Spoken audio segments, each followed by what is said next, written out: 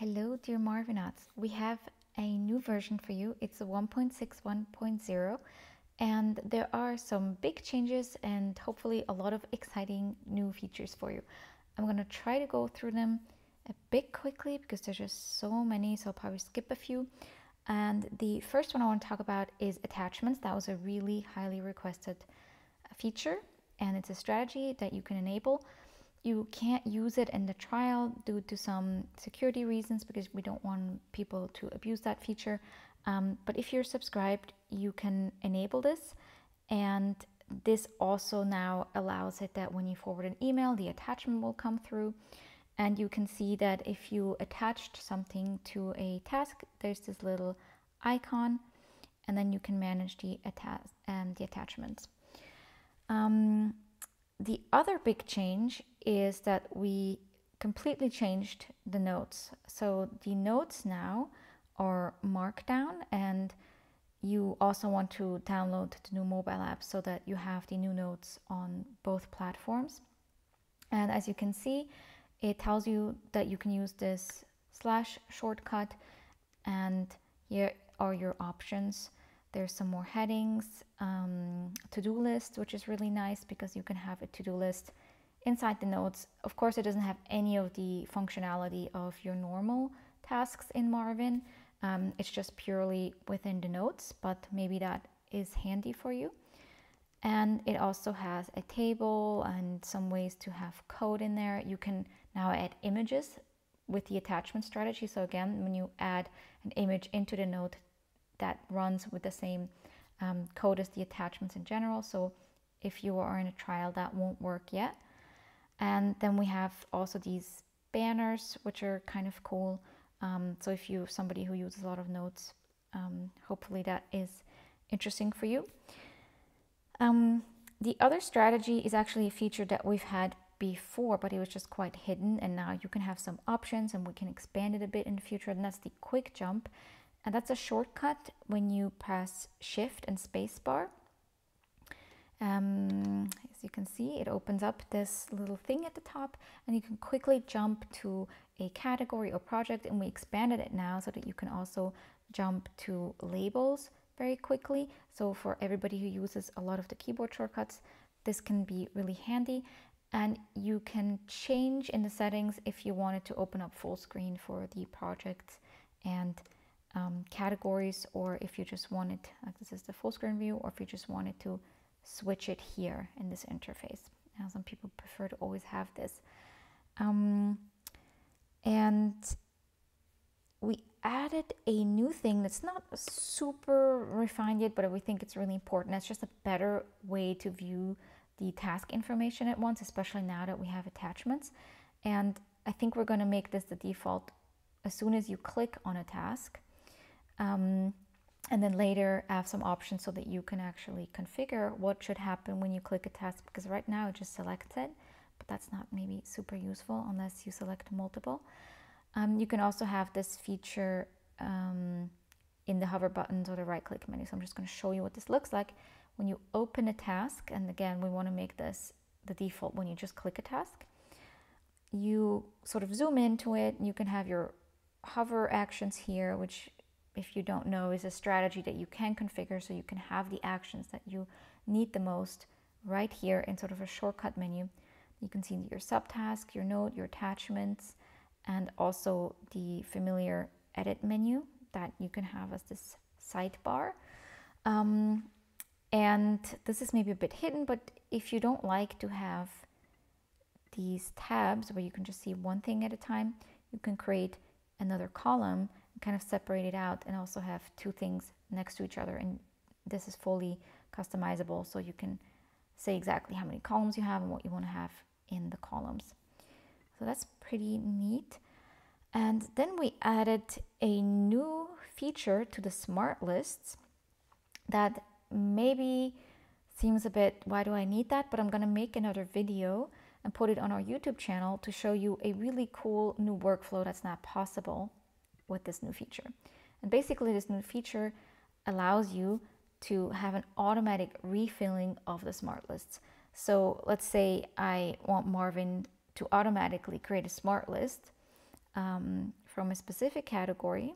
So let's say from my Marvin category, but I only wanted to have one at a time in there. Uh, this could be for overwhelm reasons. It's a bit like, you know, auto choosing. Um, but now if I set this up and leave it like that, every time I clicked off, checked off that task, it would just automatically populate a new one, as long as there's just one in it. But with the refill, I can say, I only wanted to refill daily so that when I check it off, because I maybe want to do one thing for Marvin a day, only the next day will there be another item in there. Um, so you can also have weekly refills, and with that, you can kind of build almost automatic schedules um, for yourself.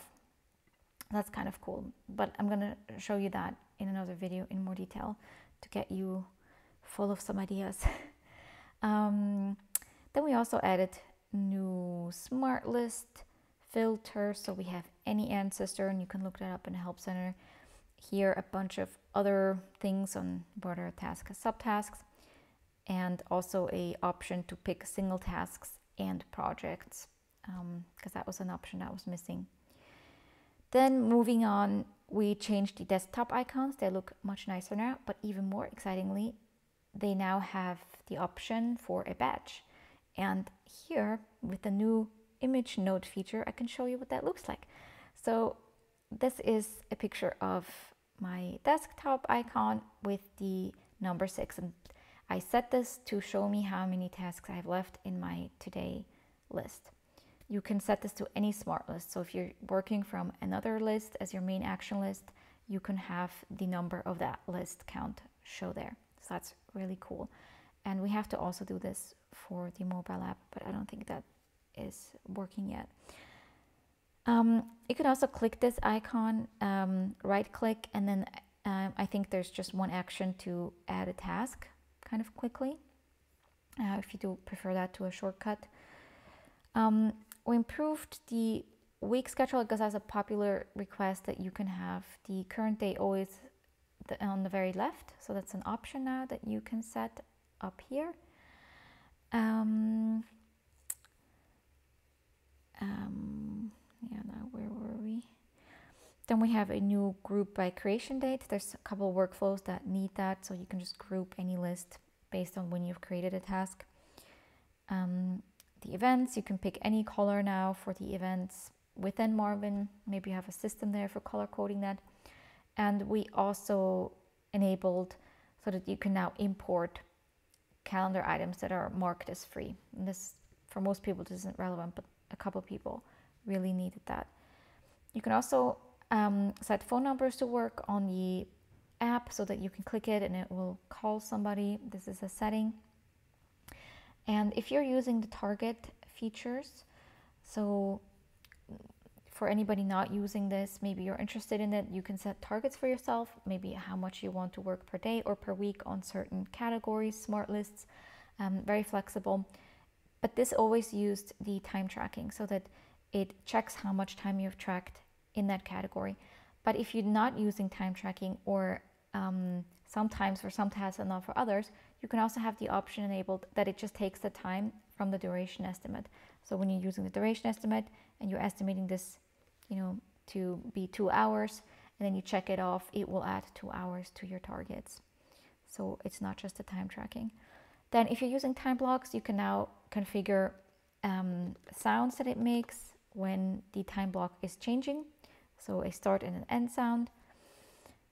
Mm, just so that make it a bit easier, just notice when you're maybe want to shift gears. Um, then the global filter we improved a lot. You can now see it in the title here above in your browser. Um, and we added a feature to make it a bit easier. If you're using global filter a lot, you can favorite a couple of your global filters and it creates a shortcut here. So you can very easily now switch between your filters.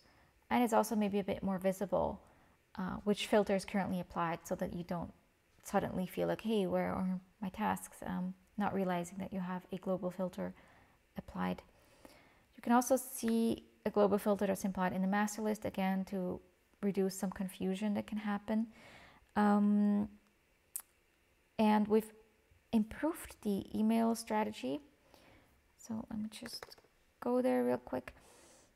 Uh, there's a couple more settings. So you can choose if the attachment should be included. You can show the sender from who forwarded the email. And very nicely, if you use Gmail, you can have a little icon show up from those tasks that were um, actual emails have forwarded. And when you click that icon, it takes you to Gmail, to that um, email. That's pretty nice.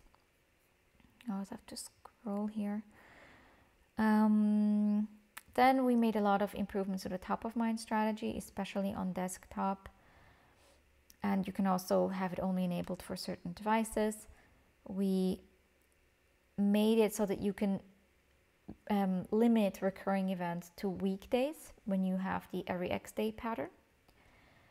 You can customize the link color in your Marvin. It's just a little bit of extra thing.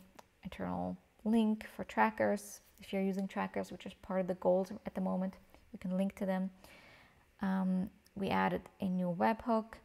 There's two new shortcuts, a way to mark things as done so that you can do this in bulk with Alt D. You can mark a bunch of them done. Um, you can go to the note more quickly.